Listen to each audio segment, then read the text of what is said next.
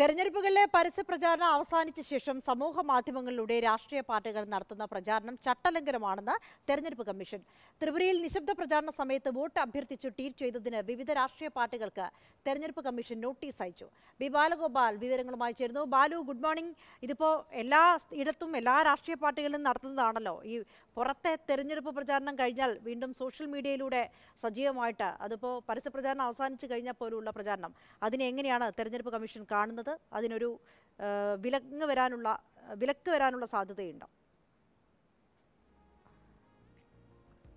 Good morning Anjitha.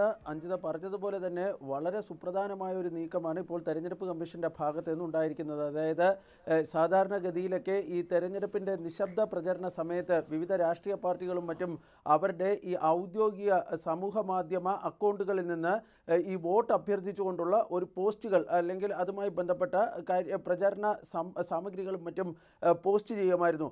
എന്നാൽ ഇത് തെരഞ്ഞെടുപ്പ് പെരുമാറ്റ ചട്ട ലംഘനമാണ് എന്നാണ് ഇപ്പോൾ കേന്ദ്ര തെരഞ്ഞെടുപ്പ് കമ്മീഷൻ വ്യക്തമാക്കിയിരിക്കുന്നത് ജനപ്രാതിനിധ്യ നിയമത്തിലെ നൂറ്റി ഇരുപത്തിയാറ് ഒന്ന് ബി വകുപ്പ് പ്രകാരം ഈ പരസ്യപ്രചാരണം അവസാനിച്ചു കഴിഞ്ഞാൽ പിന്നെ ഒരു തരത്തിലുള്ള ഈ പ്രചരണവും അതായത് ഈ സമൂഹ മാധ്യമങ്ങളിൽ ഉൾപ്പെടെ ഉള്ള തരത്തിലുള്ള പ്രചാരണങ്ങളും പാടില്ല എന്നാണ് തെരഞ്ഞെടുപ്പ് കമ്മീഷൻ ഇപ്പോൾ വ്യക്തമാക്കിയിരിക്കുന്നത്.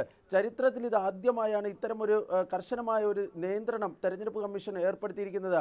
ഈ ഇപ്പോൾ ഈ തെരഞ്ഞെടുപ്പിൽ അതായത് ഇപ്പോൾ നടക്കുന്ന ഈ മൂന്ന് നിയമസഭാ തെരഞ്ഞെടുപ്പുകളിൽ ആദ്യം പൂർത്തിയായ ത്രിപുര നിയമസഭാ തെരഞ്ഞെടുപ്പിൽ ഇത്തരം പ്രചരണം നടത്തിയ മൂന്ന് രാഷ്ട്രീയ പാർട്ടികൾക്ക് കോൺഗ്രസിനും അതുപോലെ തന്നെ ബി ജെ പിക്കും സി പി എമ്മിനും ഇപ്പോൾ തെരഞ്ഞെടുപ്പ് കമ്മീഷൻ നോട്ടീസ് നൽകിയിരിക്കുകയാണ്. ഇവരുടെ സമൂഹ മാധ്യമ ഈ മൂന്ന് പാർട്ടികളുടെയും ട്വിറ്ററിൽ കൂടി നടത്തിയ ട്വീറ്റുകൾ വരുന്ന ശനിയാഴ്ചയ്ക്ക് മുമ്പ് അതുമായി ബന്ധപ്പെട്ട് വിശദീകരണം നൽകണമെന്ന് വോട്ട് അഭ്യർത്ഥിച്ചുകൊണ്ടുള്ള ട്വീറ്റുകൾക്ക് വിശദീകരണം നൽകണമെന്നാണ് കമ്മീഷൻ നിർദ്ദേശിച്ചിരിക്കുന്നത്. തിരുത്തൽ നടപടി എത്രയും വേഗം തന്നെ ഉണ്ടാകണമെന്നും വിശദീകരണം തൃപ്തികരമല്ല എങ്കിൽ കടുത്ത നടപടികളിലേക്ക് കടക്കുമെന്നുമാണ് കമ്മീഷൻ വൃത്തങ്ങൾ. വ്യക്തമാക്കുകയും ചെയ്തിരിക്കുന്നത്. ജനപ്രാതിനിധ്യ നിയമത്തിലെ നൂറ്റി ഇരുപത്തിയാറ് ബി ഒന്ന് പ്രകാരം ഏതെങ്കിലും തരത്തിൽ ഈ ഈ ചട്ടലംഘനം ഉണ്ടായാൽ അവർക്ക് രണ്ട് വർഷത്തെ തടവോ അല്ലെങ്കിൽ പിഴയോ അല്ലെങ്കിൽ ഇത് രണ്ടും കൂടി നൽകുന്ന ശിക്ഷയാണ് കമ്മീഷന് വിധിക്കാൻ വേണ്ടി കഴിയുന്നത്. ഏതായാലും കടുത്ത നടപടികളിലേക്ക് കടക്കുമെന്നാണ് കമ്മീഷൻ ഇപ്പോൾ വ്യക്തമാക്കുകയും ചെയ്തിരിക്കുന്നത്.